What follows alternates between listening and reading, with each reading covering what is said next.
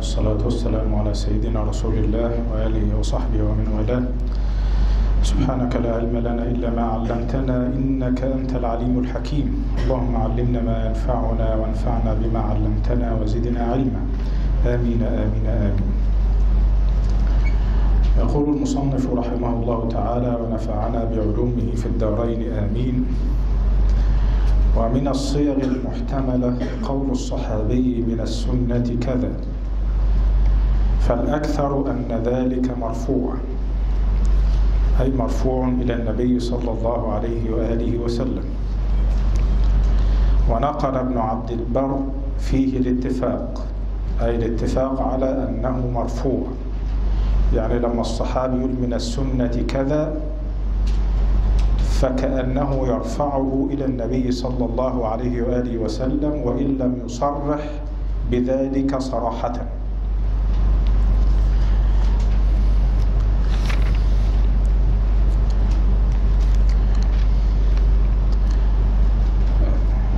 قال وإذا قالها غير الصحابي فكذلك. ما لم يضفها إلى صاحبها كسنة العمرين. يعني إذا قال مثلا التابعي من السنة كذا فالأكثر على أن ذلك مرفوع إلى النبي صلى الله عليه وآله وسلم ما لم يضفها إلى صاحبها كسنة العمرين. يعني كأن يقول سنة أبي بكر كذا أو سنة أو سنة عمر بن الخطاب رضي الله عنه كذا. وقلنا أن العمرين دي من باب إيه؟ التغليب.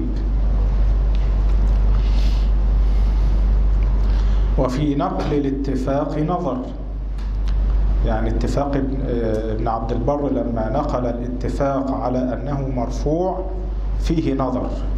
ليه؟ لأن بعض الأئمة خالف في ذلك. زي مين؟ فعن الشافعي في أصل المسألة قولان فالإمام الشافعي عنده في القديم أن ذلك مرفوع. له حكم الرفع. أما في الجديد رجع عن ذلك وقال أنه ليس بمرفوع. الإمام الشافعي رجع في الجديد عن قوله في القديم وقال أن ذلك ليس بمرفوع. يبقى المسألة فيها إيه؟ فيها خلاف. وابن عبد البر نقل الاتفاق.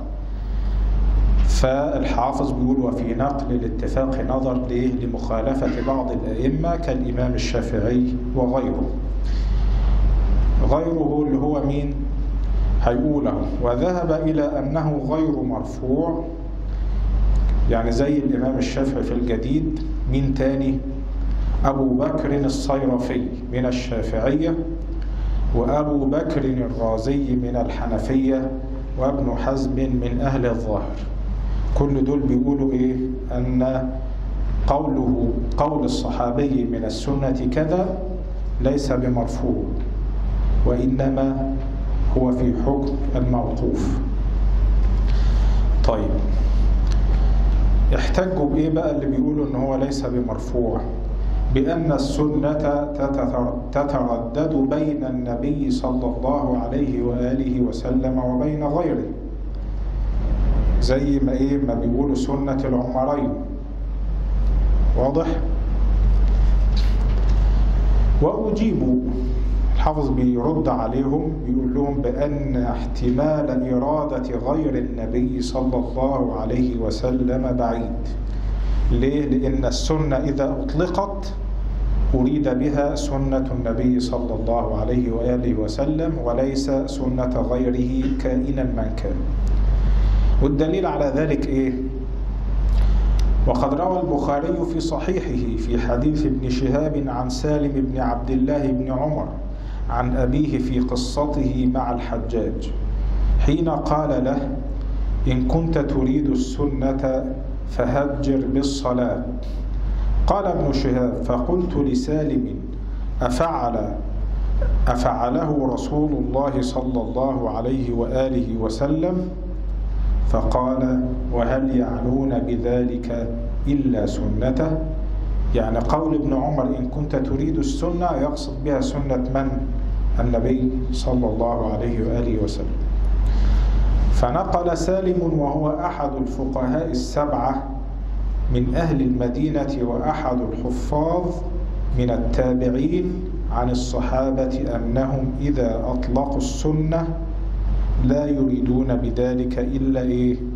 سنة النبي صلى الله عليه وآله وسلم. وأما قول بعضهم إن كان مرفوعا يعني إذا كان قول الصحابي من السنة كذا مرفوعا فلم لا يقولون فيه قال رسول الله صلى الله عليه وآله وسلم؟ فجوابه أنهم تركوا الجزم بذلك تورعا واحتياطا. الاحتمال حتى لو واحد في المية أن يكون ده مش قول النبي صلى الله عليه وآله وسلم. ومن هذا قول أبي قلابة عن أنس من السنة إذا تزوج البكر. هنا إذا آه إذا تزوج البكر على الثيب أقام عندها سبعا. أخرجاه في الصحيح. قال أبو قلابة لو شئت لقلت إن أنسا رفعه إلى النبي صلى الله عليه وآله وسلم. ليه؟ لأنه بيقول من السنة. أي لو قلت لم أكذب لأن قوله من السنة هذا معناه. لكن إراده بالصيغة التي ذكرها الصحابة أولى. يبقى إحنا ما نجيش من عند أنفسنا ونقول أن هذا مرفوع إلى النبي صلى الله عليه وسلم.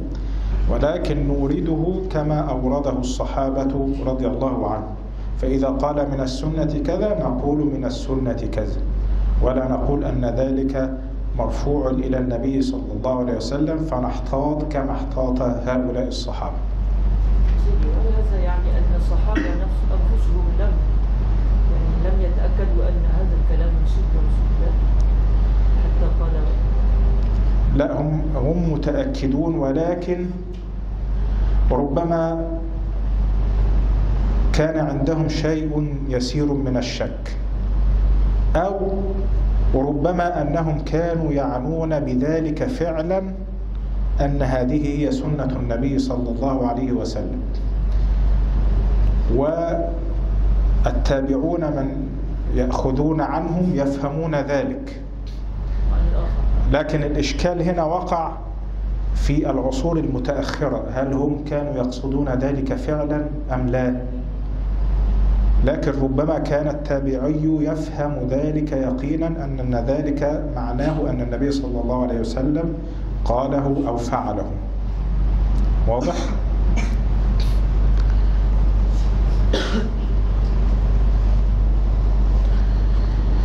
ومن ذلك قول الصحابي أمرنا بكذا أو نهينا عن كذا. مثل قول أم عطية مثلا رضي الله عنها وده عند البخاري ومسلم. أمرنا أن نخرج أن نخرج في العيدين العواتق وذوات الخدور وأمر الحيض أن يعتزلن مصلى المسلمين. فمعطية بتقول إيه؟ أمرنا أن نخرج في العيدين العواتق وذوات الخدور. فيبقى ده أيضا له حكم إيه؟ حكم الرفع. حكم الرفع. واضح؟ أنتوا معايا ولا نايمين؟ عايزكم تصحوا معايا كده.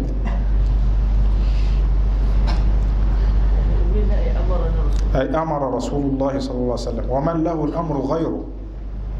ليس لأحد أن يأمر غير النبي صلى الله عليه وسلم. أو نهينا عن كذا. كقول أم عطية أيضا عند البخاري ومسلم نهينا عن اتباع الجنائز ولم يعزم علينا. أي أن النبي صلى الله عليه وسلم نهى النساء عن اتباع الجنائز ولم يعزم علينا أي لم يؤكد علينا يعني كأنه قال أن الأفضل أن النساء يعتزلن الجنائز ولا يتبعون فالخلاف فيه كالخلاف في الذي قبله. وبعضهم خص الخلاف بغير أبي بكر الصديق. بعض العلماء زي ابن الأثير مثلا قال الخلاف في غير أبي بكر. لكن لو واحد مثل أبي بكر يقول من السنة كذا فقولا واحدا يقصد أن إيه؟ ذلك مرفوع إلى النبي صلى الله عليه وآله وسلم. فالخلاف فيه كالخلاف الذي في الذي قبله. لأن مطلق ذلك ينصرف بظاهره إلى من له الأمر والنهي وهو الرسول صلى الله عليه وآله وسلم. وخالف في ذلك طائفة. زي زي مثلا الإسماعيلي. تمسكوا باحتمال أن يكون المراد غيره غير غيره. الهاء هنا عائدة على مين؟ على النبي صلى الله عليه وسلم. كأمر القرآن. كأمر القرآن. أو الإجماع. أو بعض الخلفاء. أو الاستنباط.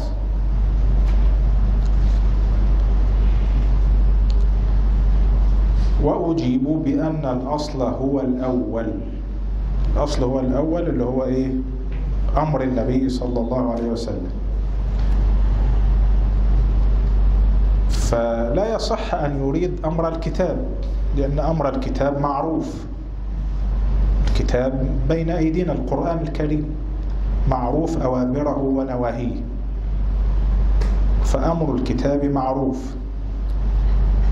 طيب بيقول أو الإجماع ولا يصح أيضا أن يراد بذلك الإجماع ليه؟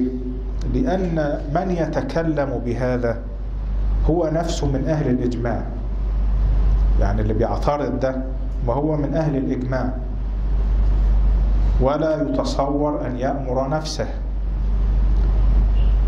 واضح؟ أو بعض الخلفاء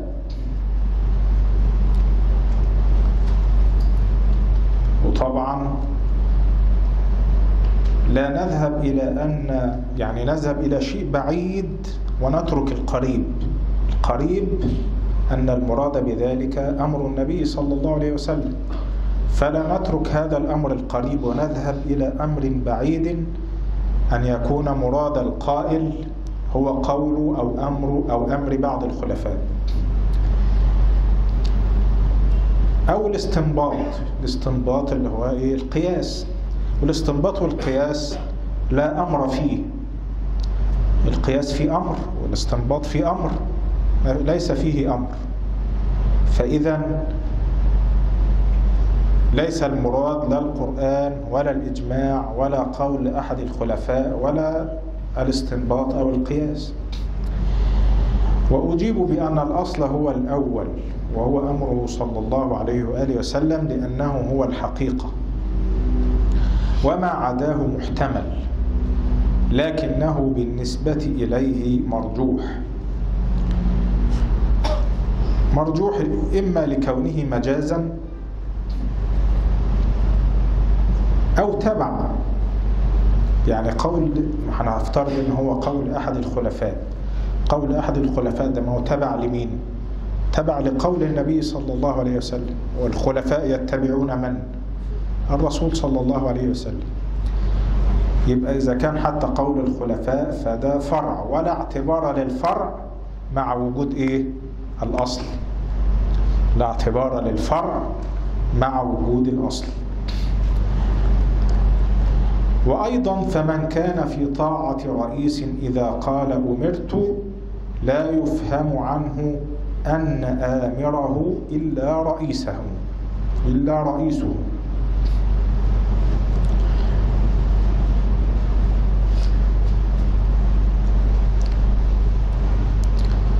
طيب.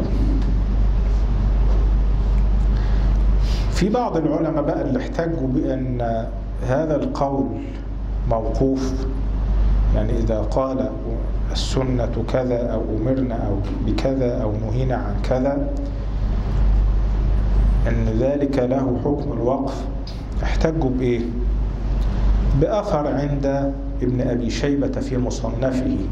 عن أنس قال كان يؤمر بالصوت فيقطع ثمرته ثم يدق بين حجرين ثم يضرب به. يضرب به في الحدود مثلا. فقلت لأنس في زمان من كان هذا؟ قال في زمان عمر بن الخطاب.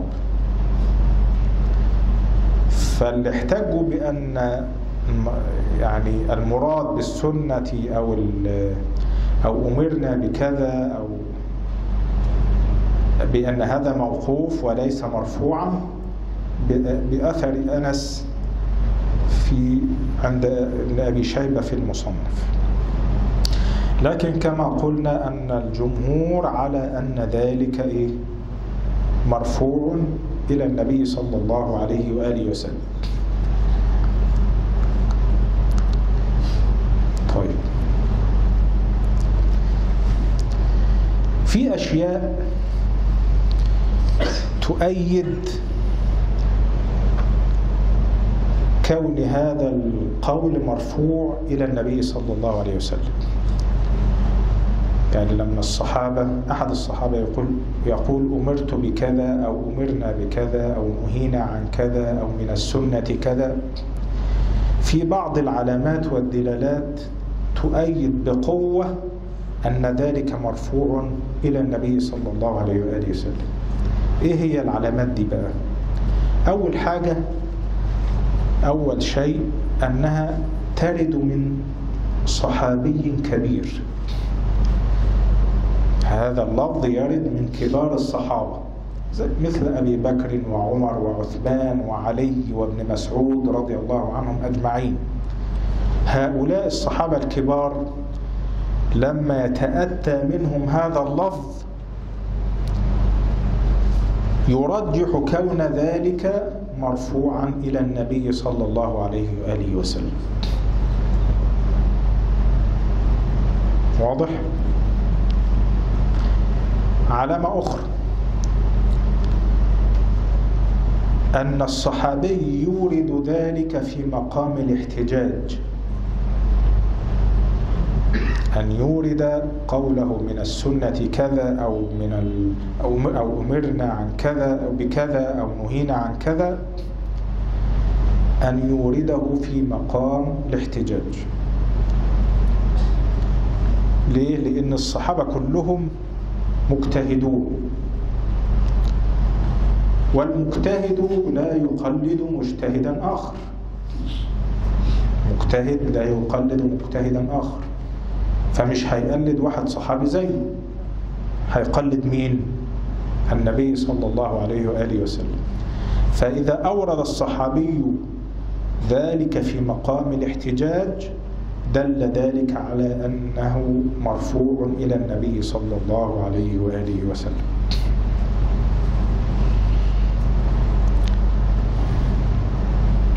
طيب.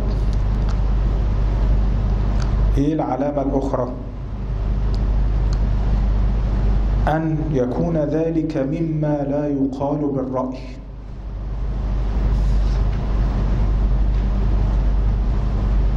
يعني ما ينفعش إن هو يقول الكلام ده من دماغه. ما ينفعش يقول الكلام ده إيه؟ من دماغه.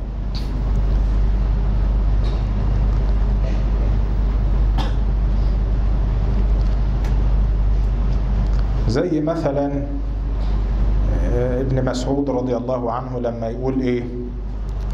من أتى ساحرا أو عرافا فقد كفر بما أنزل على محمد صلى الله عليه وآله وسلم. هل نقدر نفهم من ده إن ابن مسعود جايب الكلام ده من من دماغه؟ لا ده ده ده حكم ينبني عليه تكفير شخص. من أتى ساحرا أو كاهنا أو عرافا فقد كفر بما أنزل على محمد صلى الله عليه وسلم. فهذا مما لا يقال إيه بالرأي. فقطعا ابن مسعود سمع هذا من النبي صلى الله عليه وآله وسلم ولم يقله من عند نفسه. من حيث المعنى ولا من حيث ممكن من حيث المعنى وممكن من حيث اللفظ أيضا. والصحابي إذا قال بالمعنى فهو عالم باللسان العربي وعالم باللغة فلن يحيل الألفاظ. إذا قاله حتى بالمعنى فلا شيء في ذلك لأن الصحابة هم أهل اللغة. فلا يتصور أن يغير الصحابي المعنى على النبي صلى الله عليه وآله وسلم.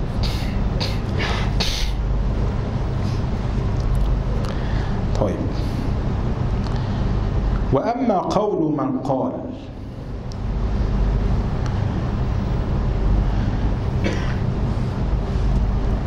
يحتمل أن يظن ما ليس بأمر أمرا فلا اختصاص له بهذه المسألة. يعني إن الصحابي إيه؟ ظن ما ليس بأمر أمرا. فالحافظ بيقول هذا لا اختصاص له بهذه المسألة. ليه؟ بل هو مذكور فيما لو صرح فقال أمرنا رسول الله صلى الله عليه وآله وسلم بكذا وهو احتمال ضعيف. لأن الصحابي عدل عارف باللسان. أهو الكلام اللي أنا كنت لسه بقوله لك أهو عدل عارف باللسان فلا يطلق ذلك إلا بعد التحقيق.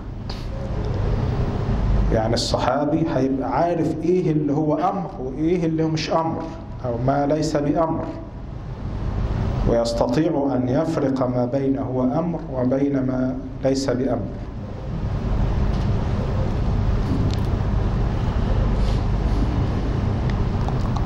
ومن ذلك قول قوله كنا نفعل كذا.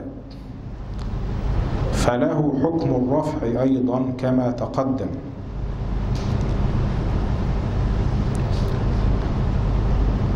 يعني سواء قال ذلك الصحابي أو التابعي. فله حكم الرفع أيضا كما تقدم. على الخلاف؟ الذي ذكره الحافظ.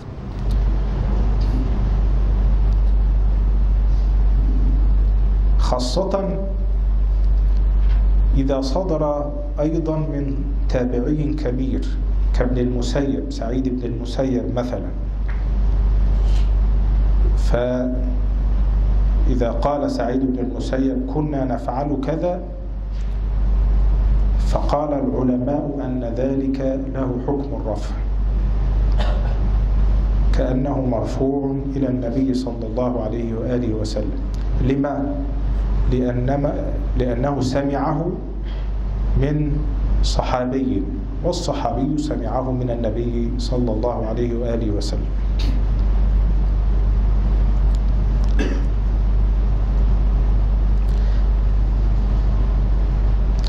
طبعا مش كل العلماء على هذا.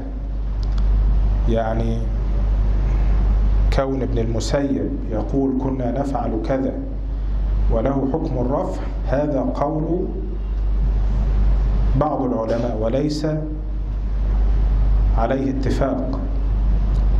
وكذلك مثلا هنا يقول قول التابعي.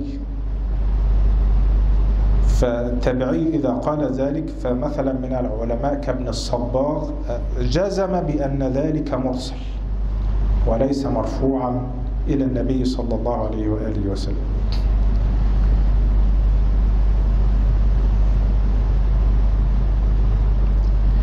ومن ذلك أن يحكم الصحابي على فعل من الأفعال بأنه طاعة لله أو لرسوله أو معصية أو معصية. كقول عمار من صام اليوم الذي يشك فيه فقد عصى أبا القاسم صلى الله عليه وآله وسلم. فعمار بن ياسر حكم بأن صيام يوم الشك فيه معصية لله ورسوله صلى الله عليه وآله وسلم. وعمار لن يأتي بذلك من عند نفسه بل لابد أن يكون سمع في ذلك شيئا من النبي صلى الله عليه وآله وسلم طيب هنا تحت بيقول إيه؟ رواه البخاري معلقا في الصوم. طبعا هو هذا الحديث رواه الإيه؟ ذكره البخاري تعليقا. إحنا قلنا طبعا لما حد يأتي ويريد أن يخرج حديثا معلقا يقول إيه؟ ذكره. لو أنتم بتذاكروا يعني فاكرين نقول إيه؟ ذكره البخاري. لا نقول رواه البخاري. طبعا ووصله الخمسة وإيه؟ الترمذي وأبو داود والنسائي وابن ماجه وأحمد في المسلم هؤلاء وصلوا هذا الحديث المعلق في عند البخاري. فهذا حكمه حكم فهذا حكمه الرفع أيضا. لأن الظاهر أن ذلك مما تلقاه عنه صلى الله عليه وسلم. معقول إيه هيجيب شيء من هذا من من عنده أو من عند نفسه.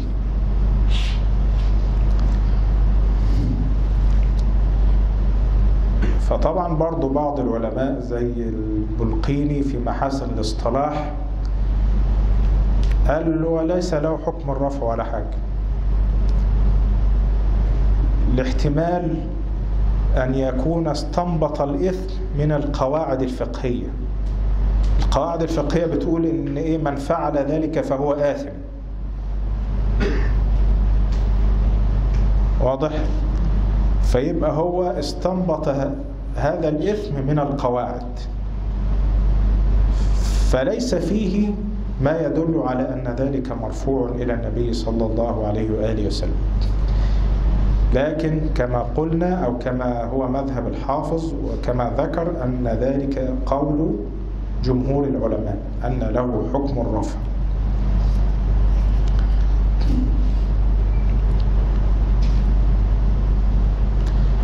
طبعا قول الصحابي كنا نفعل كذا أقل منزلة وأحط رتبة من قوله كنا نفعل ذلك في عهد النبي صلى الله عليه وآله وسلم. هذه منزلة دون هذه.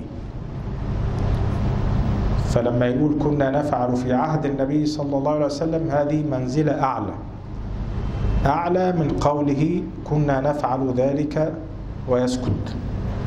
ولا يضيف ذلك إلى النبي أو إلى عهد النبي صلى الله عليه وآله وسلم.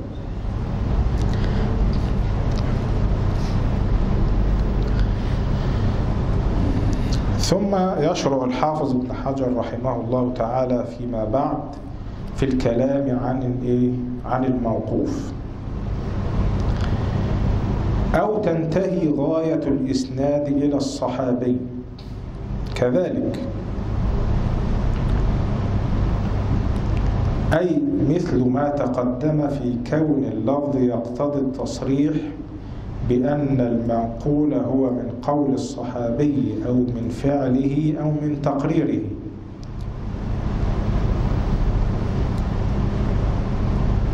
ولا يجيء فيه جميع ما تقدم.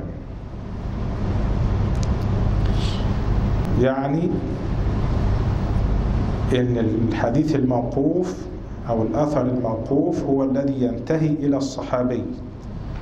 يكون من قول الصحابي أو من فعله أو من تقريره. هذا يسمى الموقوف.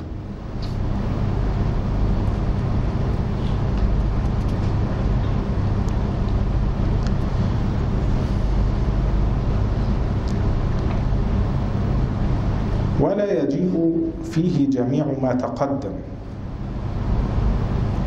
يعني ولا ولا يجيء فيه جميع ما تقدم؟ يعني مثلا هنا الحافظ بيقول إيه؟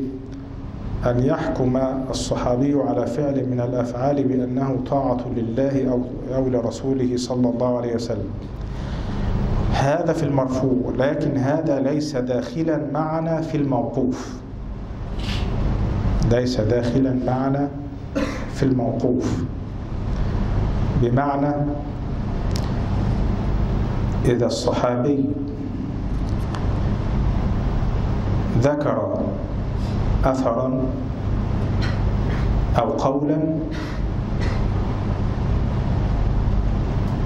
عن من عند نفسه. فلا نستطيع أن نحكم أو يحكم التابعي أو نحكم نحن على هذا بأنه مرفوع إلى النبي صلى الله عليه وآله وسلم. خاصة إذا تيقنا من أن هذا من إيه؟ من قول الصحابي. يعني التابعي يروي قولا عن صحابي. مجرد قول عادي. فلا يدخل معنا أنه إيه؟ مرفوع إلى النبي صلى الله عليه وآله وسلم. ولا يجيء فيه جميع ما تقدم.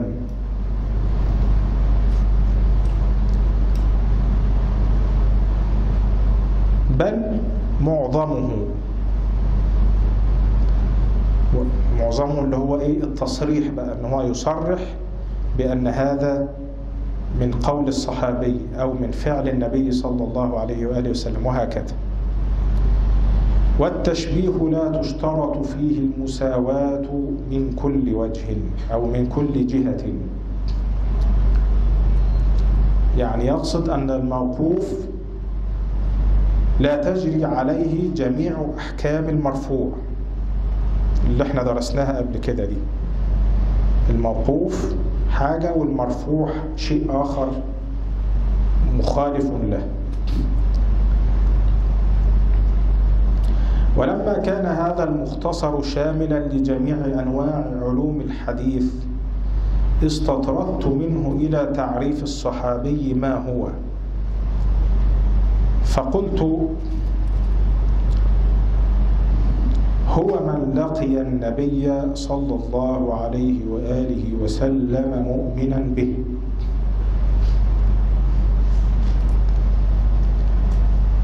مؤمنا به. ومات على الإسلام. طبعا ومات على الإسلام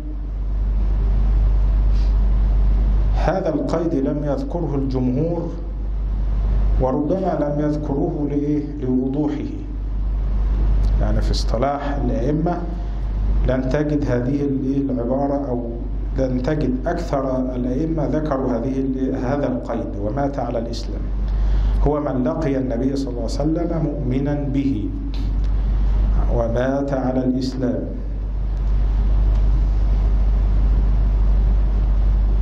طب هو ذكره ليه؟ عشان العبارة اللي جاية بعد كده. ولو تخللت ردة في الأصح. يبقى لابد إن هو يكون مات على الإسلام. حتى وإن ارتد في في المنتصف. يعني هو إيه؟ أسلم وراء النبي صلى الله عليه وسلم. وجلس مؤمنا فترة ثم ارتد والعياذ بالله. ثم رجع وتاب ومات على الإسلام فحكمه أنه صحابي.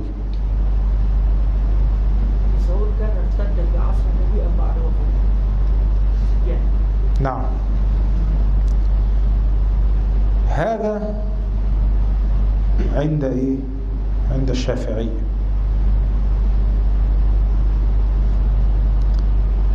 عند الحنفية قال لك لا.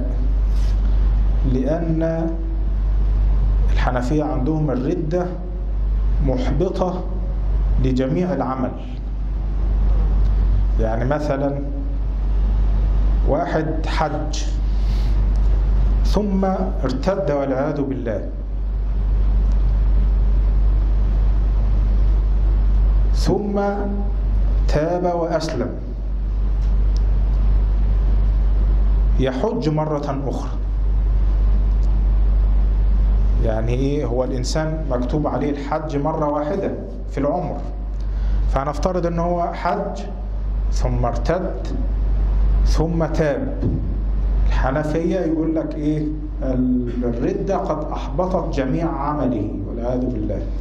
فيجب عليه أن يحج مرة أخرى. فكذلك بالنسبة للصحابي.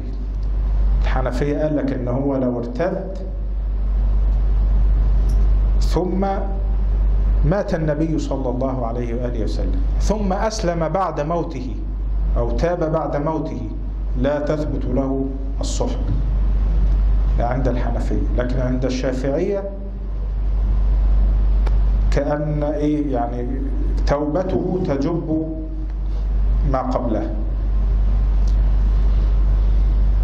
يعني زي الأحناف لابد أن يتوب في عصر الرسول. نعم يتوب في عصر النبي صلى الله عليه وسلم ويراه مرة أخرى.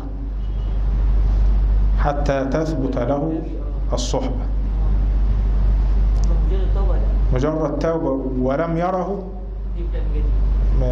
طيب يبقى إيه؟ كأنه كأنه لم يرى النبي صلى الله عليه وسلم أصلا. لأن في ناس أسلمت في عهد النبي صلى الله عليه وسلم ولم تره. كبير ف- فليس اللي هو التابعي أو الم- المخضرم. مثلا فهؤلاء لا تثبت لهم الصحبة لأنهم لم لم يلقوا النبي صلى الله عليه وآله وسلم وإن كانوا قد أسلموا في عصره فكذلك عند الأحناف إذا ارتد ولم يلقى النبي صلى الله عليه وسلم بعد ارتداده أو ثم أسلم ولم يلقه بعد إسلامه وتوبته فلا يعد من الصحابة.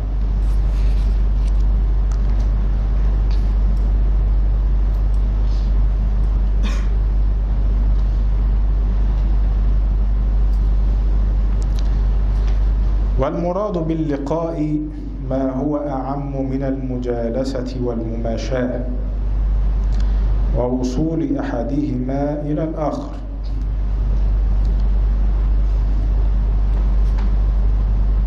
وإن لم يكالمه. يعني مجرد أن هو يلتقي به بس. ويدخل فيه رؤية أحدهما الآخر. سواء كان ذلك بنفسه رآه بنفسه أم بغيره أم بغيره ك كأن حمل وهو رضيع إلى النبي صلى الله عليه وآله وسلم. واحد حمل وهو رضيع إلى النبي صلى الله عليه وسلم. فهو التقى بالنبي صلى الله عليه وسلم هو. ولما كبر آمن وأسلم ومات على الإسلام فهو هذا يعتبر صحابي. هو مقصود هنا الحفظ بإيه؟ أم بغيره. يعني إيه أمه شالته أو أبوه شاله وهو صغير وذهب به إلى النبي صلى الله عليه وسلم. النبي صلى الله عليه وسلم شافه. لأن مجرد رؤية النبي صلى الله عليه وسلم للشخص تطبع في نفسه الاستقامة وتطبع في قلبه نورا وهذا خاص بالنبي صلى الله عليه وسلم ليس لأحد من البشر غيره. فمجرد بس رؤيته ده يعني فيه من الخير الكثير. والتعبير باللقي أولى من قول بعضهم. قول بعضهم يقصد مين؟ ابن الصلاح. الصحابي من رأى النبي صلى الله عليه وآله وسلم لأنه يخرج ابن أم مكتوم ونحوه من العميان وهم صحابة بلا تردد. يعني ابن الصلاح لما يقول الصحابي من رأى النبي صلى الله عليه وسلم طب ما كده ابن أم مكتوم ما شافوش وهو صحابي قطعا. فالحافظ بيقول التعبير باللقاء أولى من التعبير بالرؤية.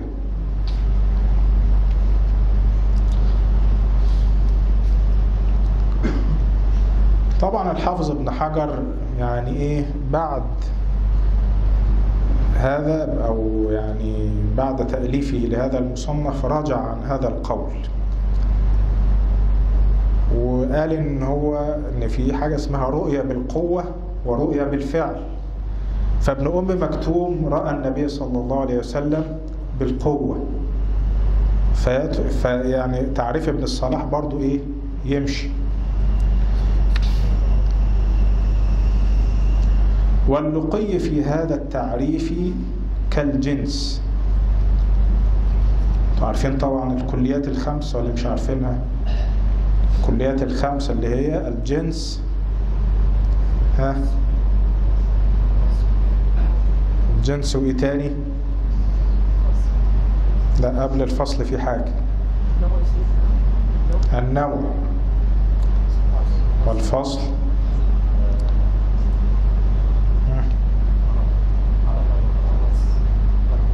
إيش لا قبل قبل هذه إيه؟ الخاصة والعرض العام. الجنس زي إيه؟ حيوان. حيوان. كلي مقول على كثير مختلفين في الحقيقة. حيوان يقال على الإنسان وعلى الأسد وعلى الفرس. النوع كلي مقول على كثير متفقين في الحقيقة. إنسان تطلق على أحمد وعلي وعمر وزيد. الفصل ناطق. وإيه؟ بها إيه؟ آه تعرف الماهية. يبقى إنسان ثم إيه؟ ناطق. ناطق هذه إيه؟ فصل. طيب الخاصة ضاحك. والعرض العام ماشي. في ناس مذاكرة. فهذه هي الإيه؟ الكليات الخمس. فالحافظ بيقول واللقي في هذا كالتعريف في هذا التعريف كالجنس.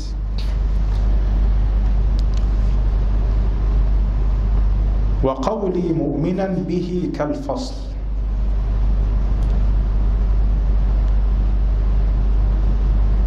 يخرج من حصل له اللقاء المذكور لكن في حال كونه كافرا. طيب. وقولي به. طيب. هو الحافظ بيقول الأول إيه؟ وقولي مؤمنا به. وبعد كده قال إيه؟ وقولي به. يبقى هو كان الأولى أن يقول وقولي مؤمنا. وإيه؟ ويسكت. وقولي مؤمنا. كالفصل يخرج من حصل له اللقاء المذكور. وقولي به. واضح؟ فاهمين النقطة دي؟ ولا مش واضحة؟ يعني هو الأول قال مؤمنا به ثم كرر به مرة أخرى. وقولي به فصل ثان. يخرج من لقيه مؤمنا. لكن بغيره من الرسل.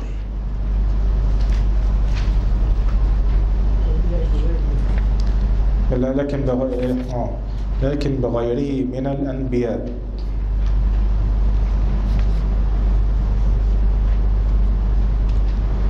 لكن هل يخرج من لقيه مؤمنا؟ بأنه سيبعث ولم يدرك البعثة فيه نظر.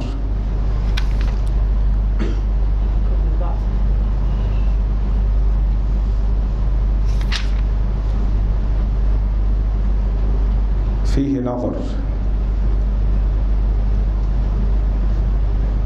لأنه إيه؟ آمن به إيه؟ قبل قبل بعثته. ولا إيمان قبل البعثة آه لا. زي مثلا بحير الراهب. بحير الراهب لما رأى النبي صلى الله عليه وسلم وهو صغير قال لعمه أبي طالب أن هذا سيكون نبي هذا الزمان. فهو مؤمن أن هذا هو النبي. ورأى النبي صلى الله عليه وسلم ولكن لم يدرك النبي صلى الله عليه وسلم في البعث.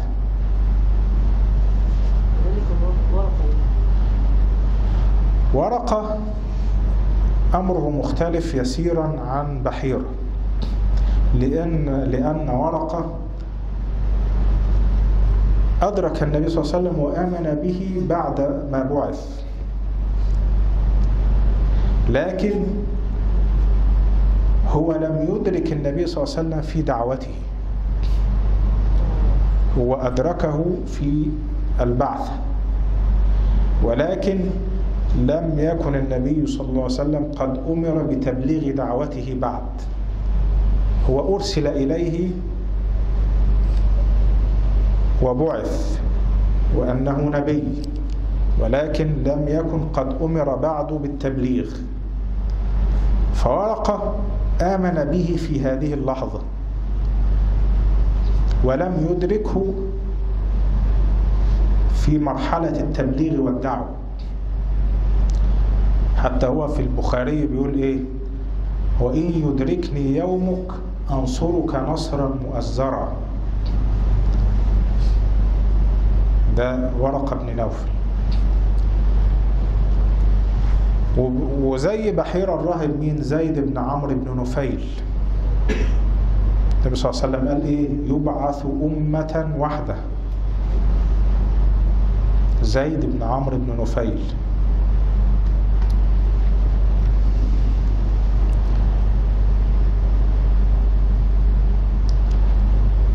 طيب. طب هل يدخل في التعريف من رآه في المنام. النبي صلى الله عليه وسلم يقول إيه؟ من رآني فقد رآني حقا. فهل يدخل من رآه في المنام؟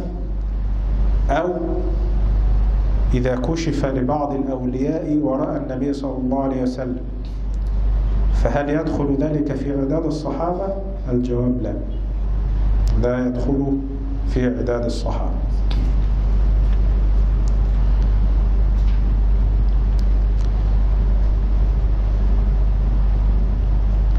طيب. هل إذا أسلم رجل ولم يرى النبي صلى الله عليه وآله وسلم إلا بعد وفاته وقبل أن يدفن؟ واحد مسلم ولكن لم يرى النبي صلى الله عليه وسلم في حال حياته. ولكن رآه بعد موته وقبل أن يدفن. مثل مين؟ أبو أبي ذؤيب الشاعر الهذلي. هذا قد آمن بال- بالإسلام وآمن بالنبي صلى الله عليه وسلم ولكنه لم يره إلا بعد وفاته وقبل أن يدفن. فبرضه إيه العلماء اختلفوا هل ده يعد في الصحابة ولا لأ؟ الحافظ العلائي وغيره قال آه ده يخش في الصحابة لأنه شاف النبي صلى الله عليه وسلم بعض العلماء قال لك لا لا يدخل لأنه لم يلقه في حال حياته الدنيوية واضح؟ وإن كان برضو بعض العلماء زي إحنا قلنا العلائي وال والحافظ البلقيني والإمام الذهبي في التجريد ذكر أبو ذؤيب في الصحابة مع أنه لم يرى النبي صلى الله عليه وسلم إلا بعد وفاته.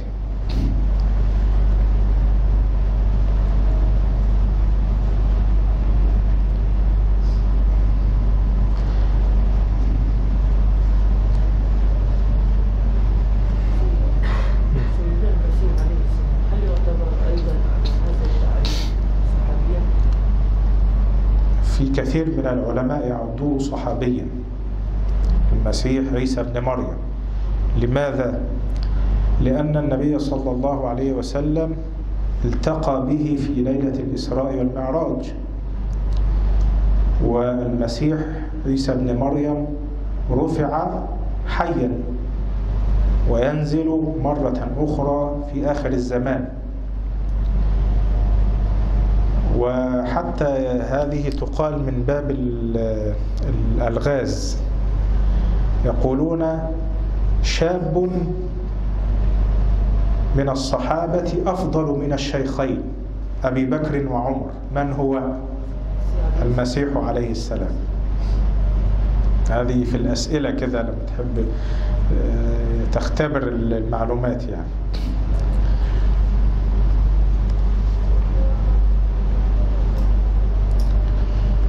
طيب وقولي ما ومات على الإسلام فصل ثالث. يخرج من ارتد بعد أن لقيه مؤمنا. ومات على الردة. يبقى لابد إن هو يموت على الإيه؟ على الإسلام. لأن من مات على الردة كعبيد الله بن جحش وابن خطل فهؤلاء ليسوا صحابة لأنهم ماتوا على الكفر والعياذ بالله.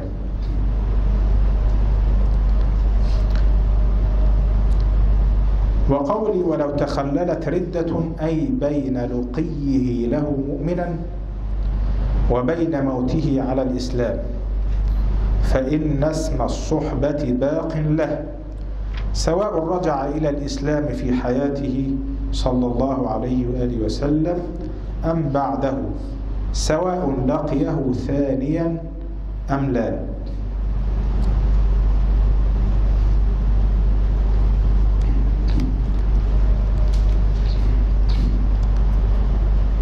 طبعا إحنا إيه آه قلنا عشان إيه الخلاف بين الحنفية والشافعية في هذه المسألة. طبعا الحافظ بيرجح قول الشافعية وقولي في الأصح إشارة إلى الخلاف في المسألة الخلاف مع الحنفية.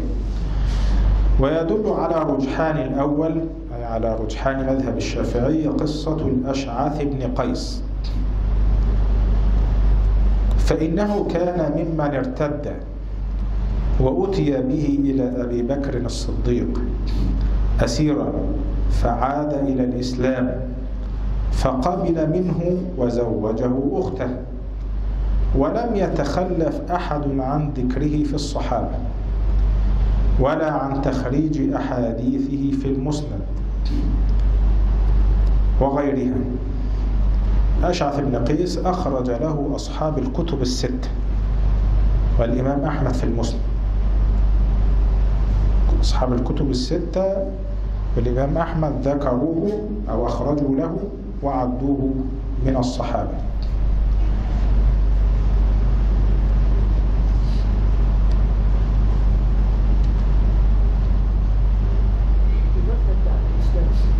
نعم المرتد عن الإسلام بعد أن رأى النبي عليه الصلاة والسلام ولم يؤمن بالنبي بعد وفاته من آه، سيدنا الأشعث بن قيس الأشعث بن الأشعث بن قيس آمن بالنبي صلى الله عليه وسلم والتقى به. ثم بعد أن مات النبي صلى الله عليه وسلم ارتد.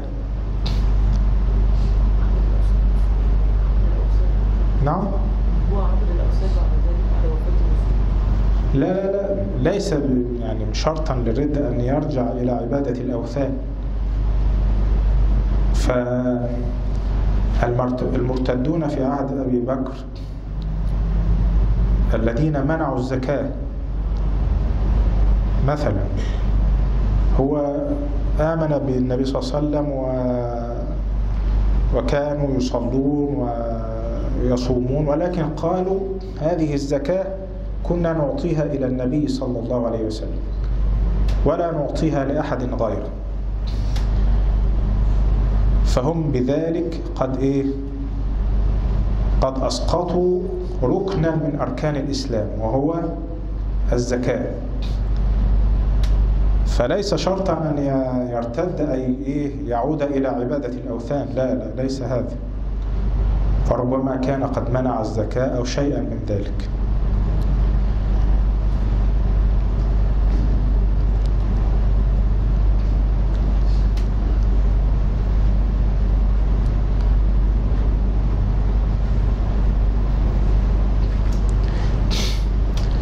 طيب اللي روى عن النبي صلى الله عليه وسلم ثم مات مرتدا بعد وفاته. أي بعد وفاة النبي صلى الله عليه وسلم. كربيعة ابن أمية ابن خلف. ربيعة ابن أمية ابن خلف. هذا ارتد بعد وفاة النبي صلى الله عليه وسلم ومات وهو مرتد والعياذ بالله. وبعض الأئمة مثل الإمام أحمد في المسند أخرج له في مسنده. أخرج له في مسنده. وهو قد ارتد ومات في خلافة عمر رضي الله عنه. فهذا إشكال. فقالوا ربما أن الإمام الإمام أحمد رحمه الله تعالى لم يعرف بقصة ارتداده أو لم يعلم بقصة ارتداده ولذا أخرج له في مسنده. وإلا فهو بهذا ليس معدودا في الصحابة ولا معدودا في المسلمين أصلا لأنه مات مرتدا والعياذ بالله. فيبقى إيه؟ ليس معدودا في الصحابة.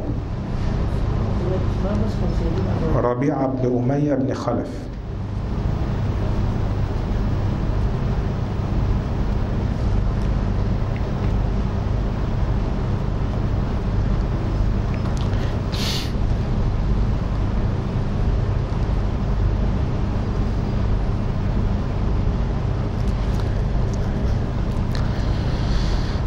الحافظ بيقول إيه؟ تنبيهان. لا خفاء برجحان رتبة من لازمه صلى الله عليه وآله وسلم وقاتل معه أو قتل تحت رايته على من لم يلازمه أو لم يحضر معه مشهدا وعلى من كلمه يسيرا أو ماشاه قليلا أو رآه على بعد أو في حال الطفولية. يعني هذا لا يستوي مع هذا. واضح؟ وإن كان شرف شرف الصحبة حاصلا للجميع لكن الصحبة أيضا درجات. فمثلا صحبة أبي بكر وعمر وعثمان وعلي وهؤلاء الكبار ليست كصحبة من دونهم. ومن ليس له منهم سماع. منه فحديثه مرسل من حيث الرواية. يعني واحد صحابي رأى النبي صلى الله عليه وسلم والتقى به وآمن به ولكن لم يروي عنه شيئا. لم يسمع منه شيئا أو لم يروي عنه حديثا. لكن روى عن آخر. أو رفع الحديث إلى النبي صلى الله عليه وسلم وهو لم يلقى لم يسمع من النبي صلى الله عليه وسلم شيئا. فهذا حديثه إيه؟ مرسل. وإن كان من أقوى أنواع المرسل. هو صحابي ولكن لم يسمع من النبي صلى الله عليه وسلم مباشرة. هذا يعتبر من مراسيل الصحابة. فهو صحابي ولكن حديثه مرسل. يعتبر من الضعيف لا لا لا. صحيح. حتى برضو إيه هذه تقال من ضمن الإيه الألغاز. يقول حديث مرسل ويحتج به بالاتفاق. المرسل معلوم أنه من الح... من نوع الإيه؟ الضعيف. ولكن مرسل يحتج به بالاتفاق. هو ذاك.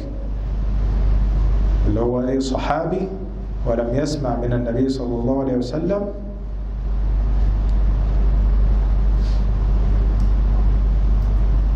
ويروي الحديث عن إيه؟ صحابي آخر. فهذا مرسل.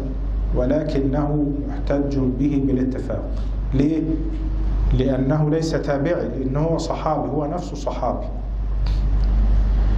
وهم مع ذلك معدودون في الصحابة لما نالوه من شرف الرؤية أي رؤيته صلى الله عليه وآله وسلم. ثانيهما يعرف كونه صحابيا بالتواتر أو الاستفاضة أو الشهرة. زي مثلا الخلفاء الأربعة الراشدين. ده, ده تواتر ده. تواتر كونهم صحابة. أو بإخبار بعض الصحابة. يعني واحد من الصحابة يشهد إن فلان ده صحابي. كشهادة أبي موسى الأشعري رضي الله عنه لشخص أو واحد اسمه حممة. أن النبي صلى الله عليه وسلم إيه شهد له بإيه بالشهادة. أنه مات مبطونا أي بداء في بطنه. فأبو موسى الأشعري يقول أن النبي صلى الله عليه وسلم شهد له بش إيه أو حكم له بالشهادة. فهذا هذه شهادة من صحابي لصحابي آخر. أو بعض ثقات أو بعض الثقات التابعين. كسعيد بن المسيب أو الحسن البصري وغيرهما يشهد بأن هذا الرجل من الصحابة أو بإخباره عن نفسه بأنه صحابي إذا كانت دعواه ذلك تدخل تحت الإمكان يعني إيه؟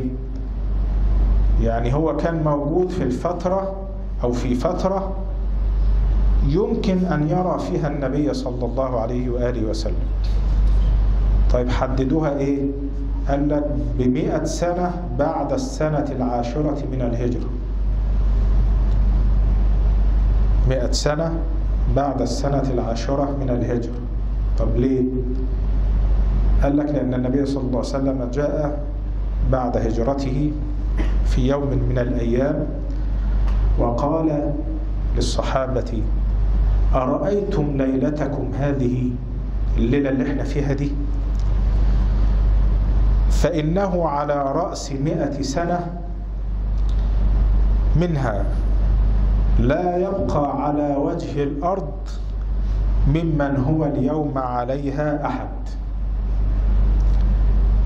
يعني الليلة دي بعد مئة سنة لن يبقى على وجه الأرض أحد حي.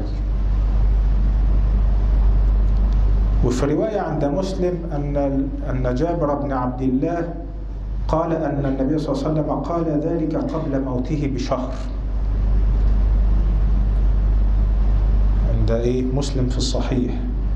جابر بن عبد الله قال أن النبي صلى الله عليه وسلم قال هذه المقولة قبل موته بشهر.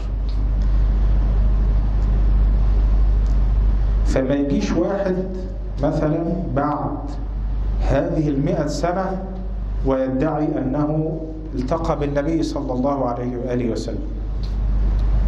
واضح؟ هذا إيه مقصود الحافظ؟ إذا كانت دعواه ذلك تدخل تحت الإمكان. يعني إمكان الرؤية إمكان أن هو يكون المعاصرة في وقت واحد.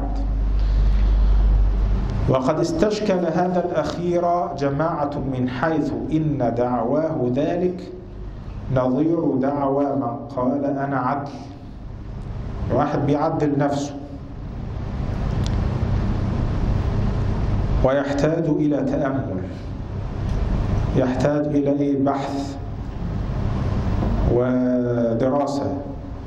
هل روى عنه أحد؟ لم يروي عنه أحد. هل هو كان موجودا في عصر النبي صلى الله عليه وسلم أو لا يحتاج إلى تأمل ونظر. لأن مثل يعني واحد بيقول أنا أنا ثقة أنا عدل. طب نعرف منين؟ نحتاج إلى إيه؟ الدراسة والبحث. كذلك واحد يقول أنا صحابي. فهذا أيضا يحتاج إلى تأمل وإلى نظر. واضح؟ والله تعالى أعلى وأعلم.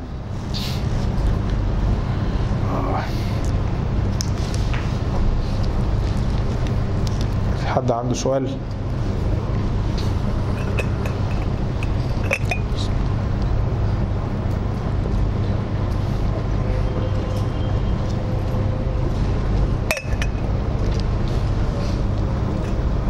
مش حد عنده سؤال؟ لقد سألت كثير